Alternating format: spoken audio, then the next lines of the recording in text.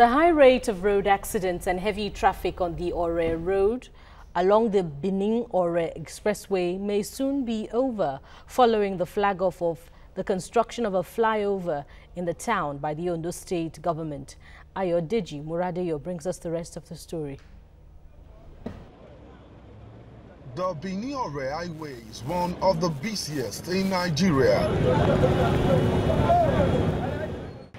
It is also noted for high rates of road mishaps, but this may become history as the Ondo State Governor Oluwarotimi Akeredolu flagged off construction of a flyover at Ore end of the highway.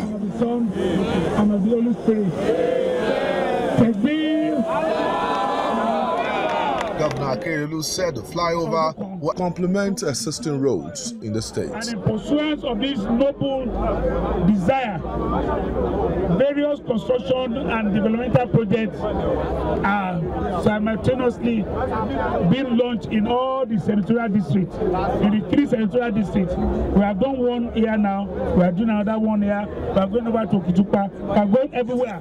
Other government officials also spoke on the importance of the proposed flyover. It's going to ease traffic and going to reduce accident. You can't stop accident because it's, most times it's human error, but it's going to reduce it.